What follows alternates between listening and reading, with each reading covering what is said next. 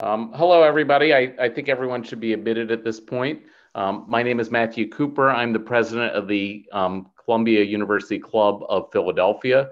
Um, I'm joined tonight by Terry Kung, who is the president of the Brooklyn Club, and we're pleased to invite you. We apologize for the delay, technical on our end, um, for an exciting program. We're going to have the speakers introduce themselves now and jump right into it. The speak the three speakers from the Columbia Career Coaches Network. So without further ado, here they are. Mike. Sure, I'll go first. Um, can everybody still hear me? Can I just get at least one thumbs up? Okay, fantastic. Um, my name is Mike Mittleman, um, Columbia Business 93, also Penn 88. So that's why I'm excited about talking to both of my halves um, so to speak. Um, I'm a career coach. I help everybody from what do I do with my life all the way through to the uh, interview process um, and everything in between. Um, most of my clients are between college age and uh, 60, and I tend to focus mostly on financial services because I have a Wall Street background um, and also focus a lot on IT um, clients. So uh, that's my general demographics. I love being a career coach. I um, I was in the corporate world for so many years and didn't find it remotely uh, spiritually satisfying, but helping people is actually really important to me now. So I'm happy to be my own boss. Josh? Hi, I'm Joshua Spodek, and I was born in Philadelphia in 1971 and uh, grew up in Mount Airy in Germantown, went to Central High School and Masterman before that. Uh, then went to Columbia undergrad, started grad school at Penn, transferred back to Columbia. So a lot of Philadelphia, uh, Columbia stuff. Uh, got my PhD at uh, Columbia in physics, and then a couple years after, then started my first startup, and then um, uh, went back to get my MBA at Columbia. I've since written a couple books on initiative and leadership. I teach leadership at NYU. I host the Leadership and the Environment podcast, which is now changing to. I live across the street from a firehouse. In case anyone can hear the noise behind me, sorry about that. Uh, and they test their equipment.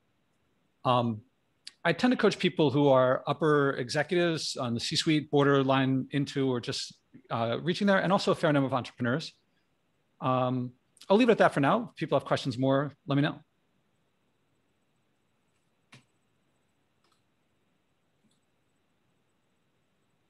I assume I'm next since uh, one, two, three. Um, I'm a born and bred New Yorker who never thought she would leave uh, and am now technically living in Colorado, although at the moment I am in, I had, we took our first road trip since we are both inoculated and we are now in Santa Fe, uh, feeling very fortunate and very lucky uh, to have family here who had an extra house. And uh, it's fun to have to see people uh, in a different way other than at Zoom.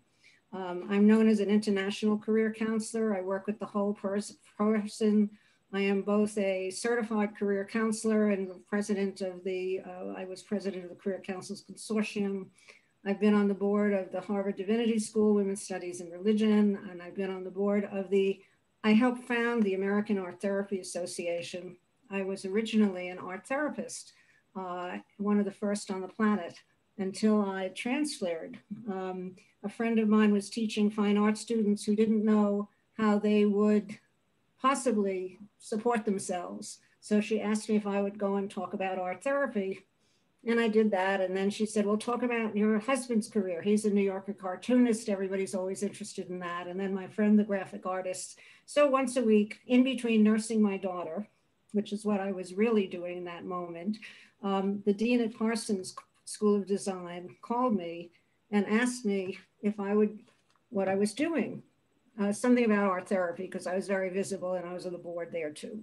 And um, he said, well, what are you doing now? And so I brilliantly said, I'm giving uh, lectures on careers in the arts. And he said, really, no one's ever done that before. Would you look, come and do a course at Parsons? And I said, yes, I would love to. created a course using doing a lot of research about careers and why people are happy and unhappy and want to change and do what they do better. Um, and I created a course and I said, I also have to do a course in art therapy because my identity was so strong. But then I got much more interested in the career area. And so I am a, uh, I am an example of a person who followed her interests. I got interested in actually making art at Columbia, which is fairly unusual.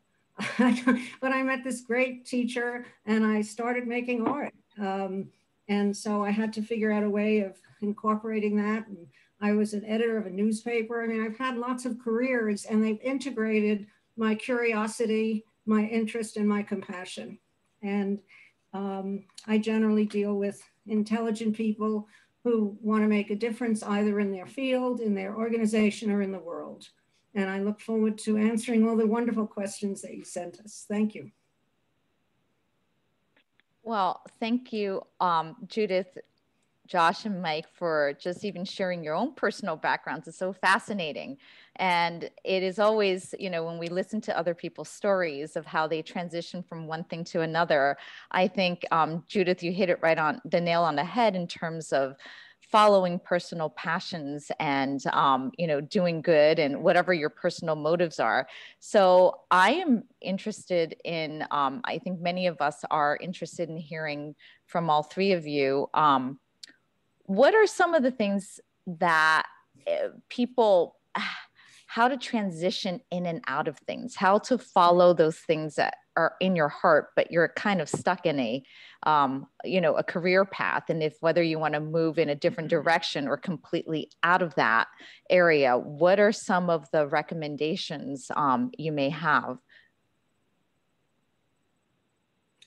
Well i think that the idea of it's really the idea that if you've been doing this for a long time you can't switch it's a very difficult thing to do i think is past. I think people look at what you can offer and um, even gaps on it used to be like if you have more than a year gap on a resume is a big problem.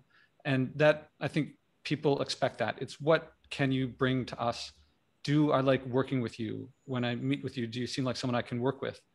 If you want to switch to something new i think a lot of people think oh i'll send out some resumes into a new area and maybe uh, do some informational interviews i find my clients have great success in doing something that adds value to the community that you want to go into it could be something doing like a webinar like this. It could be uh, writing a piece for a paper about something. Um, it can be hosting a podcast if you really want to go full into it. When you show value for a community that you want to go into and you are adding value to, to that community, then people see that you are adding value, that you they want you to be a part of that community. If, if I'm someone in a community and someone's making my life better, I want that person to be more in my community. I want to share my resources with them. So I strongly recommend not just researching, but acting in a community, volunteering if that's all there is available to you, but there's a, generally something, but something where you interact with other people and show that you're bringing value to that community. It generally doesn't take much time and it doesn't necessarily take much cost, uh, or it can take as much time and cost as you want, but you want to make connections and to show that you care, that you're adding value, that, mm. you, that you solve problems. Mm. Absolutely, absolutely. Um, I always feel when we're on these panels and we get all these wonderful questions that the actual answer is it depends. So some of it is it depends on where you are, what's your situation, uh, you know, what uh, are you good at forming relationships, or do you need coaching in forming relationships? Uh, do you have a network that you haven't activated? Uh, and what skills do you already have that you have to share? And I totally agree that the idea of doing uh, volunteer work um, or and volunteering for something you care about. I've found over the years that I've often, you know, I was in early, you know, early in the women's movement, and those people that I shared that caring about are always and lifelong parts of my life and they always one thing always leads to another so it's really not uh, it's really developing your courage to offer something uh, and to take a good look at yourself what are your technical skills obviously right now everyone needs technical skills i mean the, I have two grandchildren who are my coaches, and anything that I get stuck with technically because they breathe it, it's their natural life. Um, and so the other day I was interviewed for a uh, website where they wanted to know um, do you have to put down how many words per minute? that you can type. And I thought, really? That's a question. And we, we researched it. And obviously, if you're a court stenographer, you better know how to type. But most other jobs, the assumption is that you not only can type, but that you know how to use various, uh, various software, that it's just part of who you are. Uh, and um, I thought it was an interesting question. So you know, uh, how do you make a transition? Where are you starting from? Be honest with yourself. What are the skills you have? Do you have technical skills? Do you have credentials? Do you have people skills? Um, you know, start looking at uh, job descriptions and see what things you do have or what things you can say, well, I haven't done that, but I've done this and it's just the same thing. So uh, while it depends, uh, also take a look and evaluate where you're starting from and totally agree with Josh about don't be afraid to do volunteer work. you know, develop your plan B while you're in plan A. Well, honestly, not just volunteer work because you can that does work, but usually if you take initiative to start something, a CEO roundtable, if you know that if you know enough people, uh, a, an online panel like this, it's actually easier now during the pandemic to make panels like this than it used to be before. But something where you show initiative will show more than if you respond to someone else's initiative. Right. They people want initiative, people want creativity, people want innovation. Those are the three things that I'm finding are best uh, demonstrated. Uh, so I'll, I'll give a theoretical and practical answer. So one thing I find is that when someone wants to change careers or change directions, they really don't understand what direction they want to go and they really haven't thought it through. Um, they don't have the mental capacity or they haven't developed the mental capacity to see what is possible. So a lot of us probably know the, the uh, Napoleon Hill book, Think and Grow Rich. So it's a fantastic book to get your mindset around the idea that you can do something and it gives you the confidence that you can actually change. So I think the basic mindset you have to begin with is very important. The practical argument is, is that I deal with a lot of Wall Streeters who don't want to change jobs because they're going to drop, they're going to have a drop in compensation. Yes, they will have a drop in compensation. So uh, sometimes I get into a discussion with clients about how they can reduce their cost base. Do their kids really have to be in private school in Manhattan? Um, inevitably, when you change fields, I will say my experience is your comp goes way down. Um, it could go way up eventually, but the, the, the initial move, I find clients take a, a dip down in compensation. They have to understand that, and to the extent they have to uh, readjust their life in terms of their expense base, then that's something that they uh, that they have to do. Mm, that's good practical advice. That's very good, right? Uh, but I do find a lot of Wall Street people now are saying, I'm tired of making rich people rich. I want to do something that has more meaning uh, so that they can't only look at the uh, zeros after their compensation, but also other values that they have.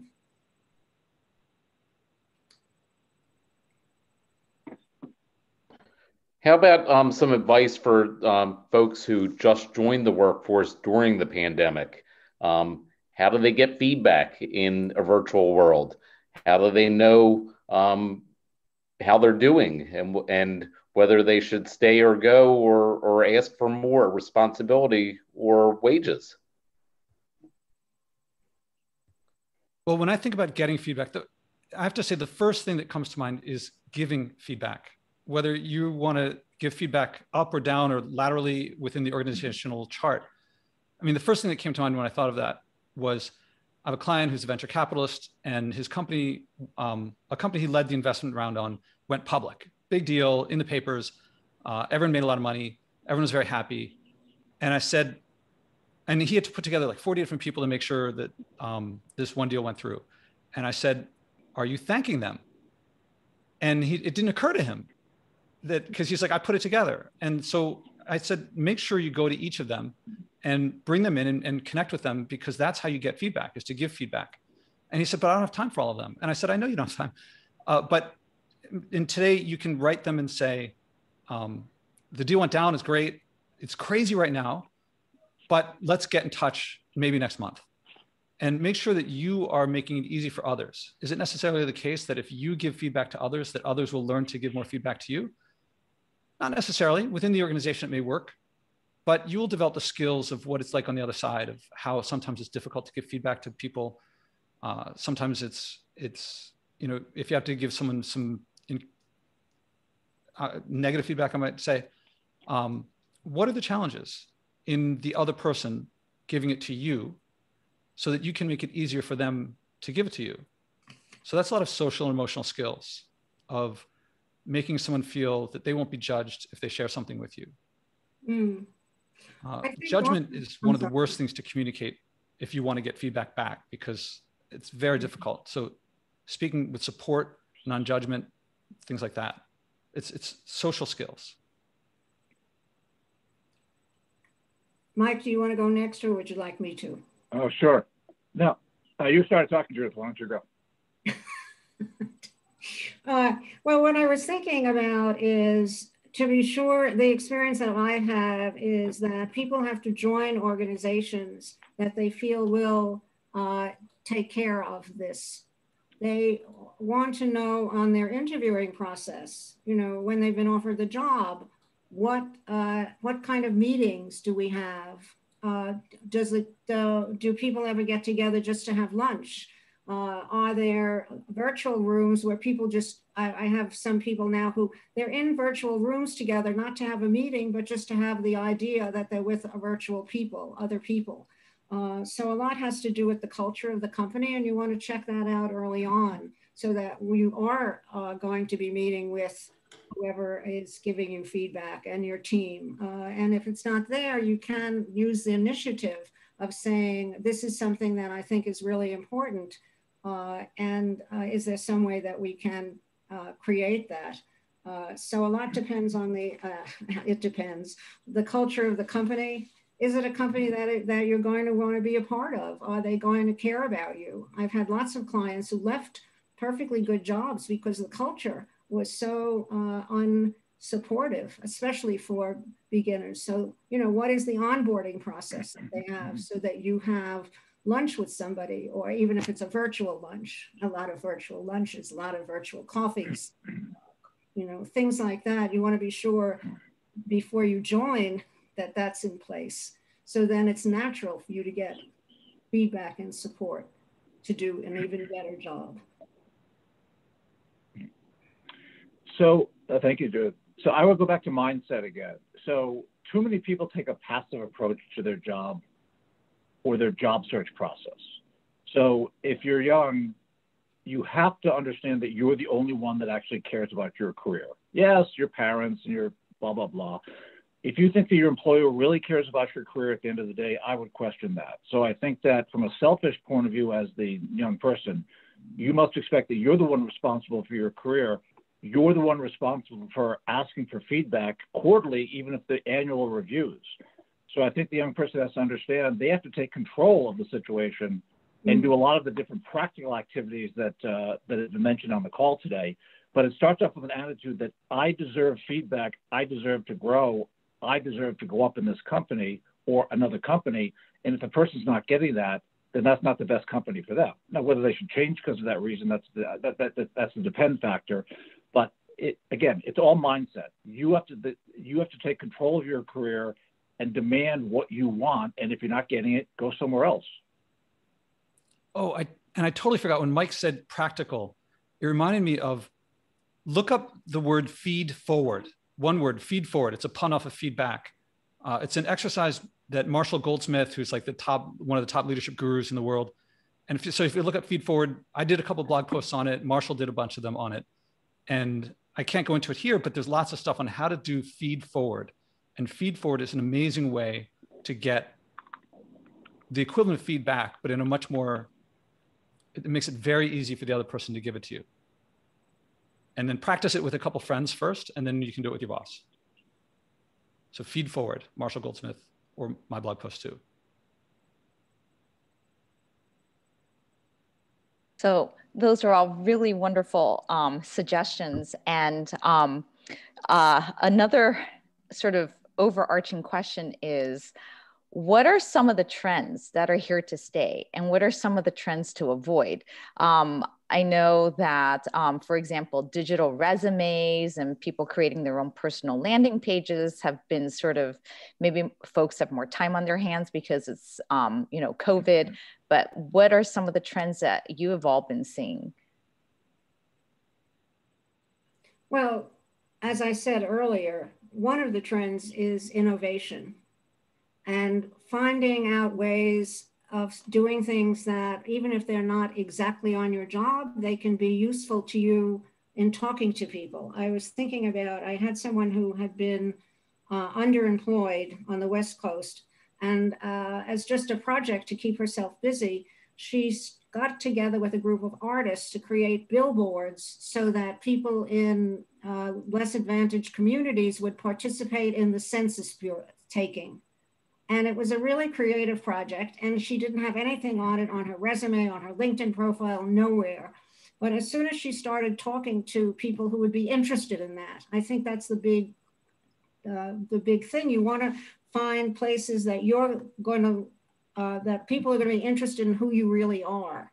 So when you start doing something because it interests you, or I have one client who, um, on his honeymoon, he created this amazing book with so much information. And as he started um, talking on the bottom of his resume, he talked about special interests and his whole interest in how he organized travel. It gave somebody a sense of his ability to think innovatively, to think creatively, to think out of the box. So I would say that, uh, you know, that's one thing. And then the other thing is, of course, keep your credentials up, you know, uh, see even if you're not looking for a job actively right now, see what are, what are the, you know, what are the job descriptions that are uh, appearing in areas that you think you might be interested in and have you developed the, the credentials and the skills. And I also want to un underline what I think both Josh and Mike said, which is that you have to, um, one of the things that you need now is people skills. That if you start looking you know, everything says I'm an independent uh, contributor and I'm a great team player. That's one of the things that you see all the time. Um, and you know, you if you are uncomfortable, like I have dealt, I deal with the whole person because I'm also a New York State licensed mental health counselor. You know, so that if people are uh, feeling that I'm always anxious when I have to give a talk, there are ways of managing to learn how to give a talk so that your anxiety doesn't stop you from taking an opportunity to have a conversation, a meaningful conversation with someone. So I would say you have to be careful which trends you follow and don't follow. So let me describe the trends that I think are bad for job search. Job boards, company websites, applying on job boards or company websites. If you're over the age of 22, I wouldn't touch them. I'm very opinionated and I blog about this all the time. Um, we, we, don't have to go into why here. Call me if you'd like me to know. So I wouldn't go near a job board or company website, even though 99% of the people think that's how you get a job. Uh, video resumes. They started X number of years ago. They haven't caught on. There's no reason to do them now. Um, there's other trends I see with resumes, especially with the Melissa Meyer resume that came out a few years ago. There's formatting and there's graphics and all this other kind of stuff. If you're in a conservative field, you want to have a conservative looking resume and the minute you start putting graphics, the minute you start putting images or anything else on a resume, it will not get through the um, the applicant tracking systems that the HR departments use. So I contradicted myself because I said don't use the job boards, but my clients still do that because it's candy, and I like candy too. But if you're going to use a job board, um, your resume can't have any images or there's a thousand things your resume can't have in order for it to actually get to a human being. So there's a lot of trends you shouldn't follow. I think the one trend you should always follow, which has not changed in the last 10,000 years, is networking. Um, being part of the Columbia Network um, is the most valuable thing anybody on this call has for any purpose whatsoever, especially for getting a job. So there's not as much networking amongst Columbia people when they're searching for jobs. I do work with a lot of Columbia people, and I say, How much have you used the Columbia Network? And inevitably, the answer will be no. And I said, Well, that's the single best piece of value you have. Now, how you access the network, what you talk to people about, who you want to talk to. Those are all the details. The idea that it's a one on one talk to people, as Josh said, and getting behind the scenes because of the connections you have to the Columbia network, that hasn't changed in a thousand years. So job search really hasn't changed. It's still networking, the heart of it at least. Yeah, I'll, I'll speak my mind here too, as Mike did, that uh, there, there's always going to be a place for resumes. That if there's a position on LinkedIn and you have to send your resume and you have to send your resume in. But in my opinion, uh, a resume is a relic of the past. There's ways to, you are online and your presence is online and people can find a whole lot about you. More to the point, you can meet anybody and you can have coffee with anyone in the world. And that is the way to make things happen. If you are offering value to a community, I, I said before, if you want to switch fields, do something that brings value to that community. If you're in the field that you like, do things that add value to that community. And the more that you show value, the more you'll connect with people. And ideally, you'll develop the social and emotional skills not to look at people for their position on an organization chart, but for who they are as a person. And when you connect with people as a person and you have developed the social and emotional skills to share who you are, partly because it's online, partly because you're connecting with them one on one, especially if you're not coming to them specifically just like, I want to get a job at your place or I want to get a promotion. And you share with them things that you're doing that are adding value to the community, they will start sharing, especially if you solve problems, they will start sharing their problems with you. And here's my little joke in this situation there's a technical term in the working world for when a person high up in an organization chart with access to resources shares their problems with you. So I, I guess I can't get the answer, but does anyone know what the technical term is for when a person with lots of resources shares their problems with you? The technical term is job offer. if you talk to people and you present yourself as a credible problem solver, not like, hey, I'm a problem solver, but you talk about things that you've done. Most of these people, they can't share their problems with people because they know that people are going to be like, oh, let me do that. When you come in and you share that you are doing these things, that you're adding value, they're like, oh, here's someone I can probably tell about this problem of mine. So they might not know that they're offering you a job, and you might not know it if you don't know how to respond to it. But if you respond by saying, oh, that's interesting. I think I, I think I have an idea there. Can I come back to you in a week and share how I think I might be able to add value on that one? Then you mm-hmm. have a conversation with them. You have an mm-hmm. ongoing mm-hmm. conversation with them, and you can keep that going. Mm-hmm. Most job offers, most of the best job offers, come from people that you know. It's, I mean, that's always the case. So right. the, developing those social and emotional skills, adding value to communities that you want to be a part of, outside the job, also inside the job if if you really like where you are. Right. I think what you're talking about, I, I talk now less about networking and more about relationship building, which I think is what Josh is talking about. That that it doesn't help if you call somebody say i'm looking for a job in your in your organization if you have no other relationship with them and uh, you um, you may need to do some work on your abilities to form relationships or you may be very you may have relationships that you haven't thought about. And the thing that's so interesting about this period is that i'm hearing from people that i haven't heard from in a very long time. But it's so natural now to hear from someone that you haven't heard from in a long time. Uh, so it's like starting with you know who did you go to school? And certainly the columbia network uh, is one of the valuable places but you can't just be a member of, you have to take on something, take on something you care about through the Columbia Network, or tell people what you're doing through the Columbia Network. Uh, then uh, you'll find other people that you have affinity for. And it's finding that affinity. I have one client, he always puts his prep school down on his resume, even though he's quite a mature lawyer. Um, and he said, because so many people know him from that era uh, or they know people who know people, or it's a very particular social group, um, and it works for him. Uh, and it's like, uh, you know, just should everybody put down that they went to PS 77? You know, maybe not. but if you have something that you can use to create uh, affinity with someone? What is it that you share? I mean, it used to be that when you walked into someone's office, there would be a picture you could say, Oh, I love soccer too, or I have a kid who blah, blah, blah, or you have a dog. You know, you used to be able to have those relationships. And right now, mostly people have what uh, Terry has, which is a very interesting background, but it's not where she is, I'm sure, unless you do live on the river. uh, and so you don't have those things, but there are lots of things so that you you you you start looking at you know what you care about, uh, what you've done, who do you have a natural relationship with, um, and a lot of times you know things come from different places. I mean, I have a thirty-something year old nephew who it's not his job, but he was volunteering at a food bank in Brooklyn, the Brooklyn people, and. Um, they started giving COVID vaccines to the volunteers. And he wasn't volunteering to get a COVID vaccine, but I can tell you I was very happy that he got a COVID vaccine for being the good person that he was. So you never know what kind of reward you're going to get from what you're doing when you care about something.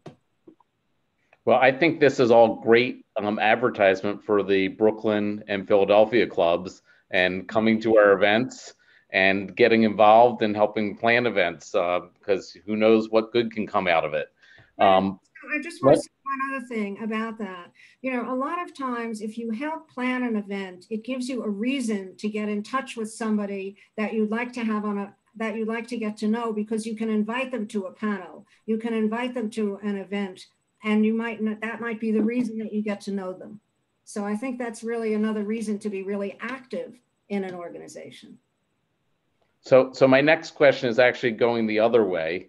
I want to know in this time that we're always connected and on Zooms, and the Zooms are all times of day and night, how do we set boundaries when you're trying to make a name for yourself and you're trying to connect? How do you also turn it off?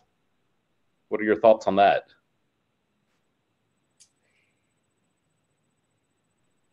My thought is that uh, you have to always know how to set boundaries with everyone. And again, it goes don't work for a company that is not going to be caring about your well being. Uh, I mean, I have a client who was in financial services, and she came to me because she was having uh, panic attacks because people were calling her Saturday night at 10:30 at night and wanting her to respond to something they could have done it themselves, but it was that feeling she had, and she's one of those terrific people who's part of the Responsible Rabbit Club. So she was used to always doing what was expected of her, and the expectations were 24 7. Well, that that is not that didn't work for her. That might work for someone else, you know, who doesn't mind being on 24 7. But for most people, you know, it's like be sure that you're working for a company that wants you to stay healthy and well. Uh, and you have to put in boundaries with your family you know a lot of women are finding that all of a sudden they're the maids and they have to change that. Um, and uh, a lot of people are finding that um, you know uh, they have to turn off i will not be available after 10 p.m i will not be available after 8 p.m or i'm available until until 6 and then i'm not available again until 9 because i have a child and i care about my child so it's really fine. It's really, again, create a culture where that matters, where who you are and your well being matters. Otherwise, don't work for them. There are plenty of other places you can work for. I'll go next. Uh, I would say meditating a half hour a day, virtually every day of the week. If you learn how to meditate properly, you may not do it properly. It's hard. There's no proper way to do it per se. But when you have a, a, daily meditation practice, and I literally mean daily meditation practice, whether it's connected to religion or not, that's, that's a separate issue. When you have a daily meditation practice that increases your awareness of what's going on in your world, it increases the fact that you may not know that you're that you're not setting boundaries. I myself don't set good boundaries. I work 60 plus hours a week, um, which is way too much and not healthy for a 55 year old. But the more I've meditated, the more I've realized that I can't keep doing that or else I'm going to have a heart attack. So self-regulation and meditation gives you, or meditation leading to an understanding of where you're out of balance and leading to maybe putting balance in place or seeking an expert to help you put that balance in place, I think is important. So the first question is, are you are you out of balance? Where are you out of balance? And I think the meditation is a very, very powerful practice to just make you aware of where you're out of balance or maybe you are in balance, or certain areas of your life are out of balance. Now, I confess that my connection went down for a minute. And when Judith, I, so I didn't hear the question. When Judith was speaking, I thought it was going to be about uh, setting boundaries. And then Mike, it was about meditation. And I, I'm going to have to punt on this one because uh, I don't know what the question was. but maybe the next one. Well, you got the question, and Mike was responding to the same question in case you had something to share as well. So it was uh, how to handle when when you can be contacted anytime, any place. I have to say that the clients that I've worked with have handled it pretty well. I think that um, I, I, I hope this is not unhelpful for people, but I found that people have been able to communicate. This is when I'm available. This is when I'm not, and uh, it may be because most of my people tend to be more senior, and they're able to connect with people and say, "This is when I can. This is when I can't." Um, and it's a matter of firmness, uh, planning ahead, being available when you have to, uh, if there's a really crunch time.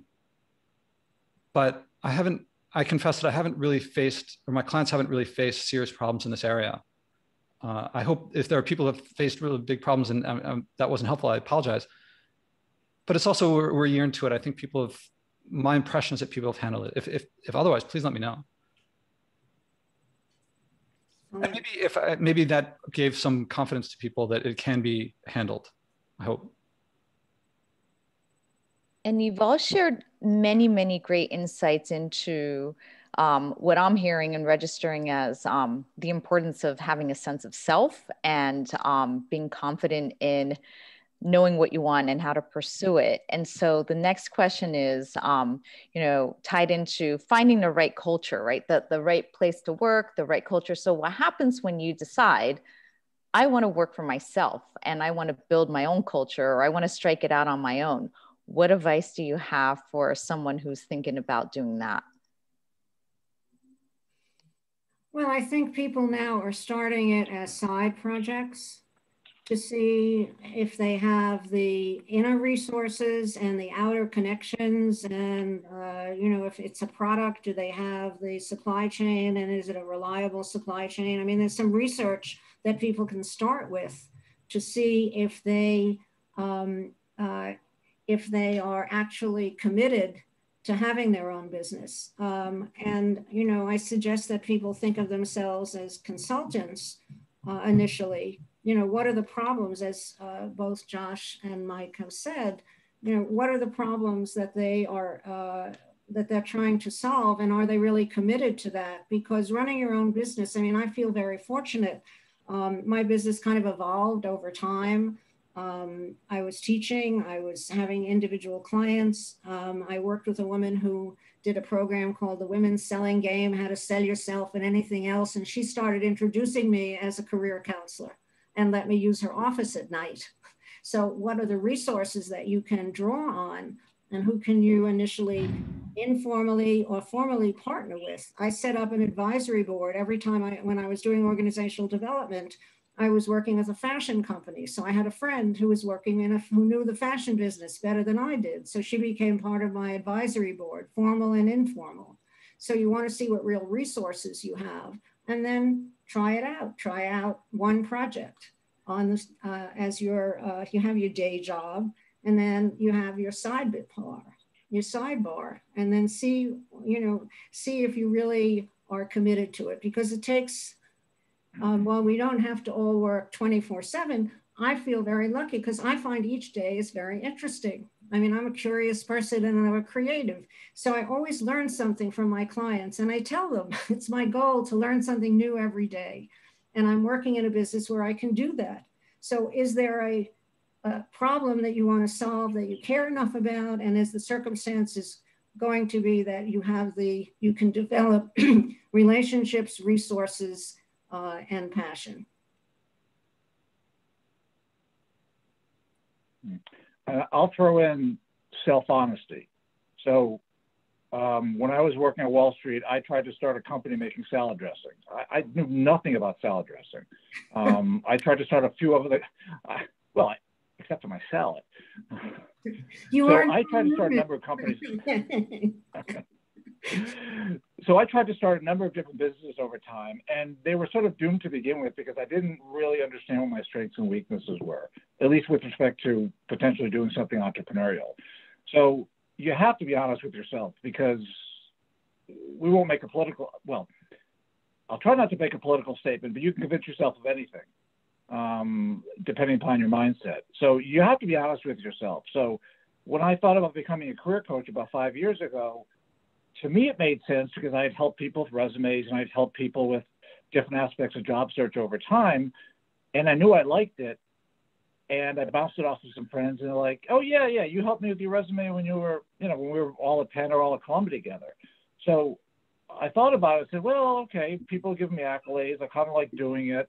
Um, can I make a living at it? That's another story." But I, I was enough critical, self-critical enough to know that I think I could do it.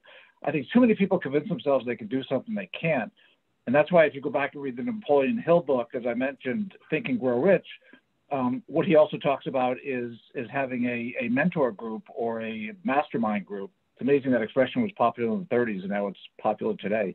So you have to you have to get outside feedback from people, but you got to be honest with yourself. If you know nothing about the salad industry business, you are probably not going to succeed unless you get somebody who really knows something about the salad industry business and you do whatever aspect of the business you can do. So I think the main message is you have to take an, an internal inventory and not fool yourself. So to answer the question, I, I the the book that I wrote, Initiative, is exactly to answer the question that you asked.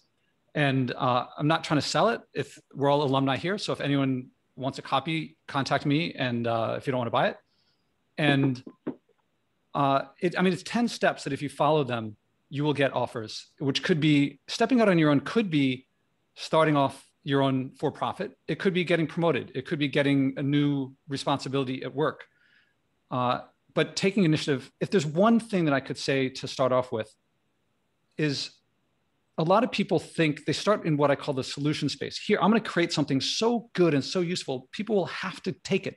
They'll say, "Oh, this is exactly what I want." But when you do it that way, when you say, "Here's something that I'm," it's so good people are like, oh, yeah, well, I'll be the judge of that. Prove it to me how good it is. And then when you do and you say how great it is, then they say, okay, let me check the competition. The flip side from the problem space, uh, from the solution space, is the problem space. Talk to people about what their problems are, understand what's missing.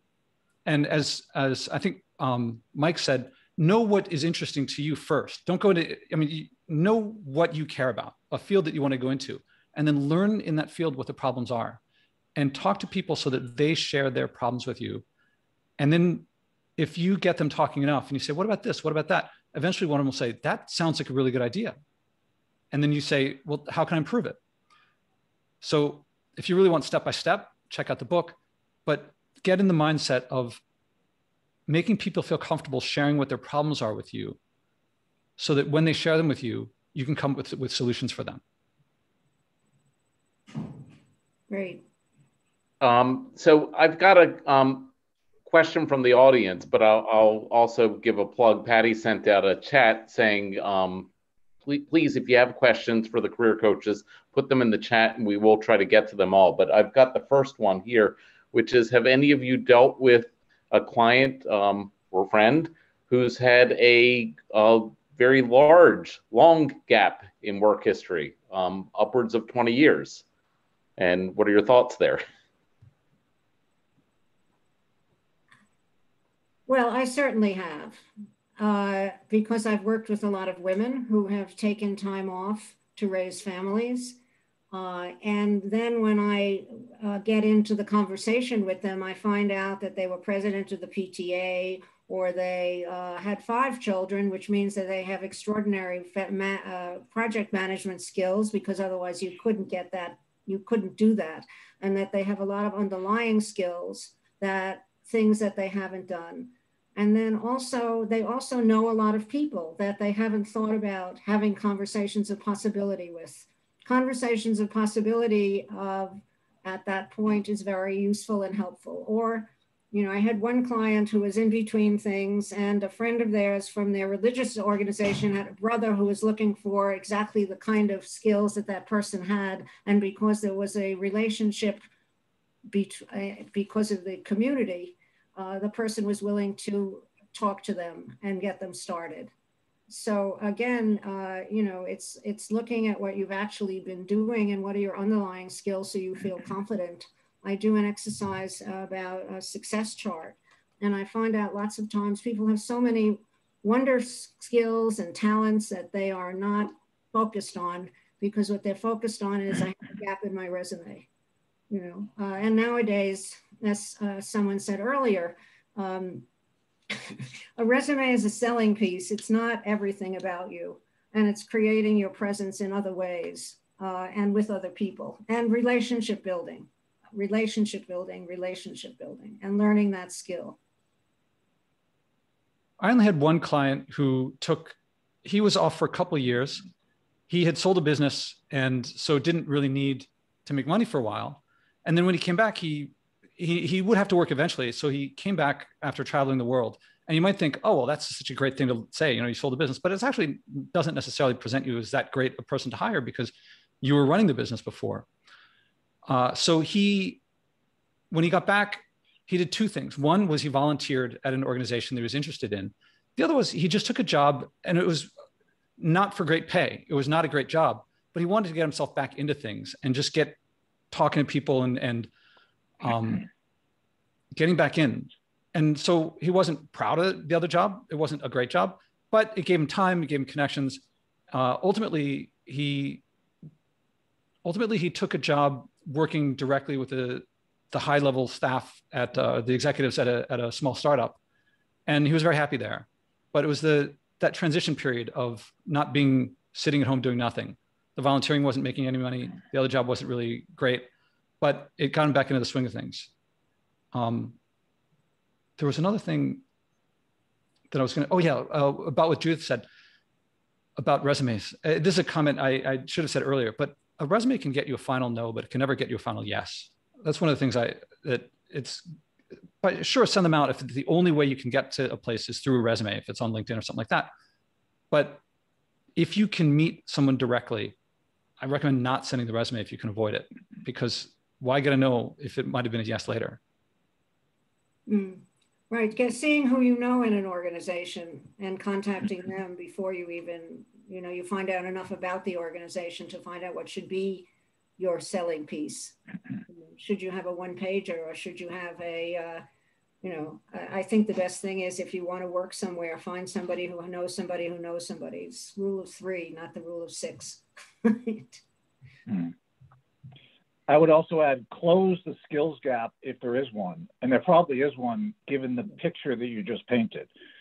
The certification business is a multi, I don't know if it's trillion yet, but it's a multi-billion dollar business business there are some certifications that actually really are good and some certifications that are kind of baloney.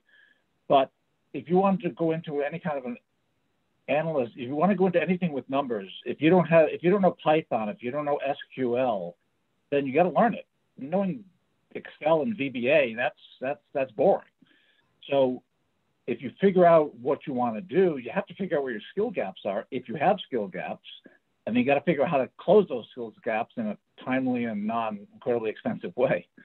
Um, so I know Columbia has a lot of great programs that are online, um, and there's other Udemy and Coursera, Coursera being probably a lot better.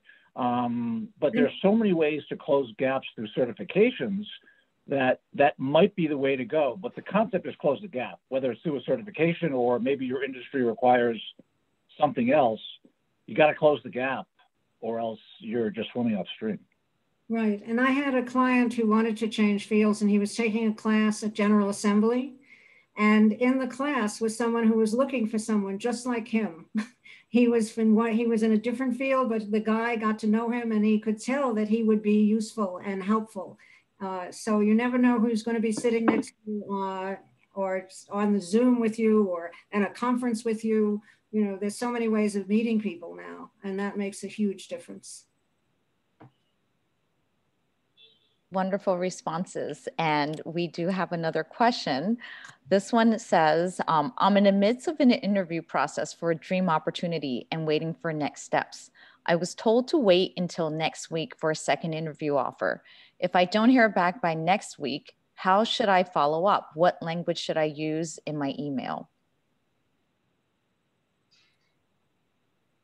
it's going to depend a lot on the details of, of the people, but my gut is I start emails with, is it too soon to check back, blah, blah, blah. I think it's a polite, simple way to say, you know, is it too soon to check back about the next time we're going to talk? Is it too soon to check back of how things are going? I find that a friendly way to say, hey, what's going on? Right, right. Just checking in uh, is always a good uh, way to ask someone. Uh, and I know that I had um, recently, I had a client who he hadn't, he had gotten through a lot of uh, relationship building. He had gotten to know a lot of people in an organization. Uh, he applied for something. They said they were interested and then he didn't hear from them and it went blank. And I, he was, you know, like a lot of people, you don't want to call to ask for the no because you're fearful. You'd rather stay in maybe land, which is not the good land to be in. So I finally convinced him to call somebody and they had lost his application. It had somehow gotten lost. and they were so happy he got in touch with them because uh, he now has the position. and, um, you know, however you follow up, follow up, follow up, follow up, follow up, follow up, follow up, follow up.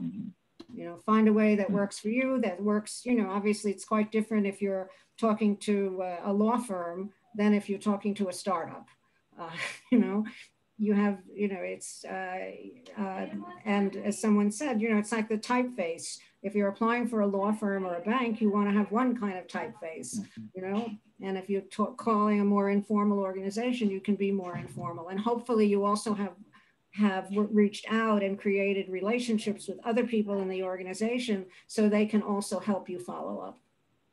Follow up, follow hmm. up. Rule number one.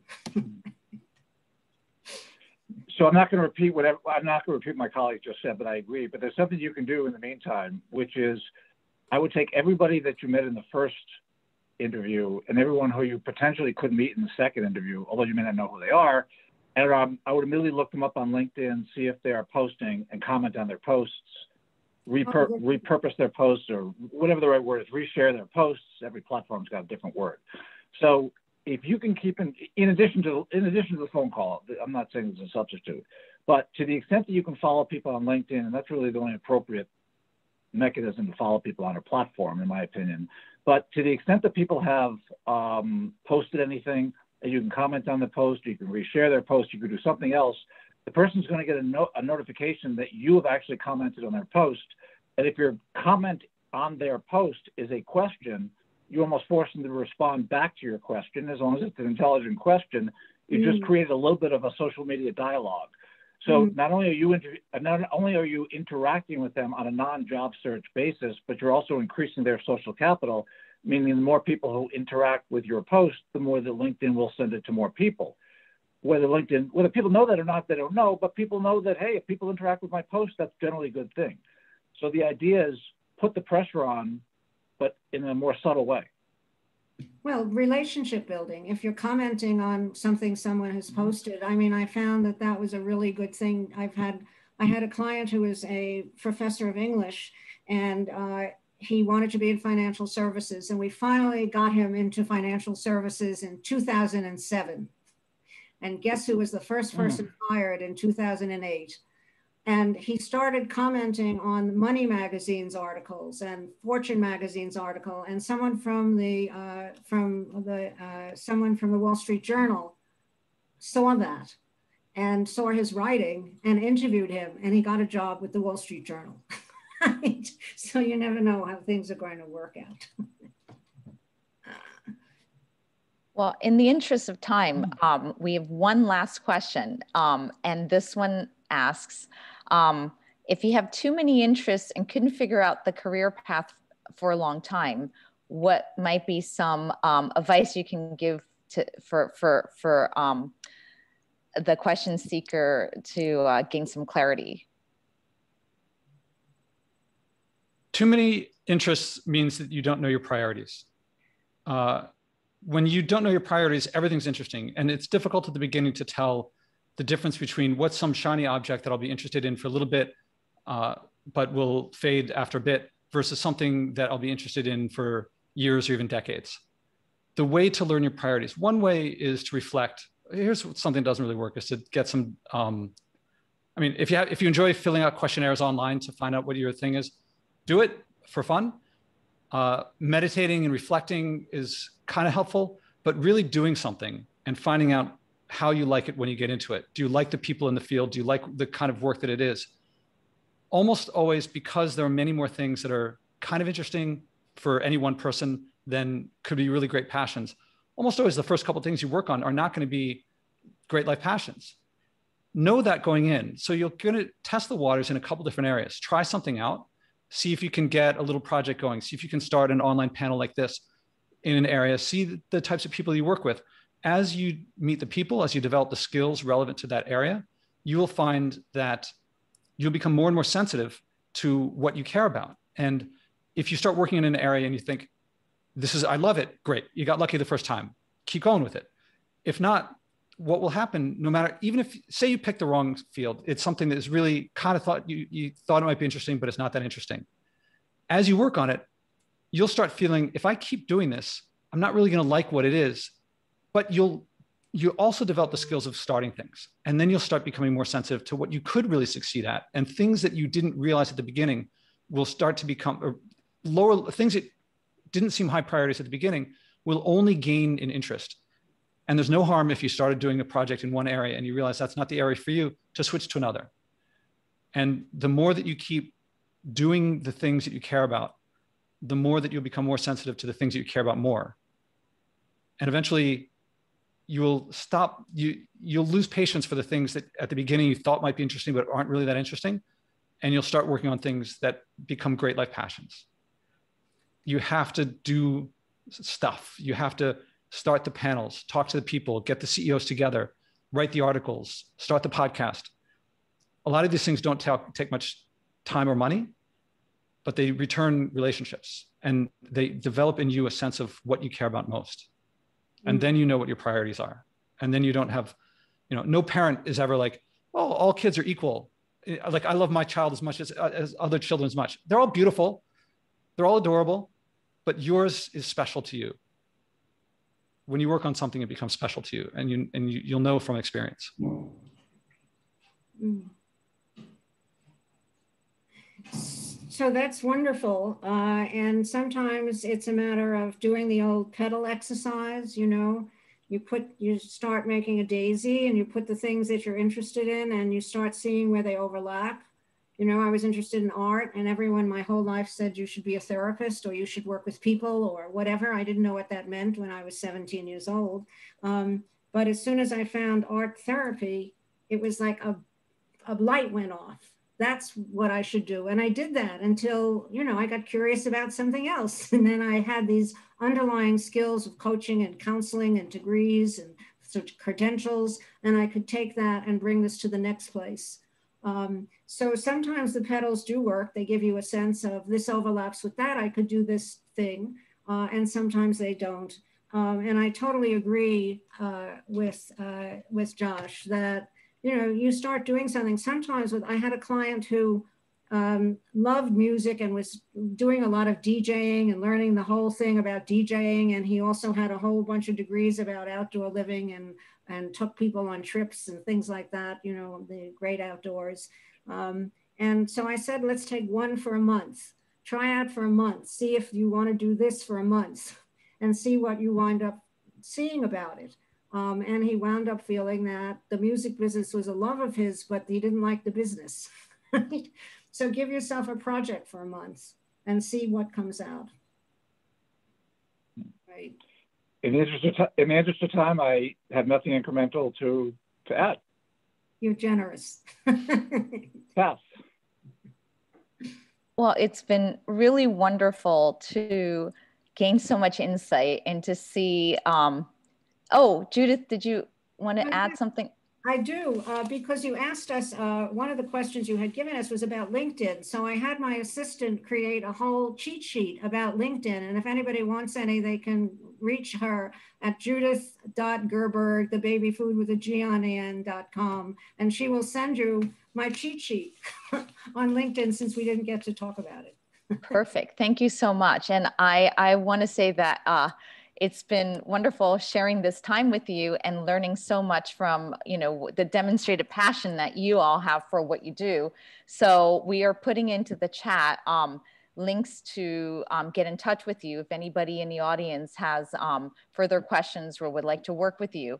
And um, with that said, on behalf of Columbia Alumni Association, Patty and Alyssa, who are here with us tonight, and my counterpart, Matthew Cooper um, at the uh, Philadelphia Club, um, we are so grateful to have you share your insights and to be so uh, such wonderful members of our community. And thank you for sharing your time.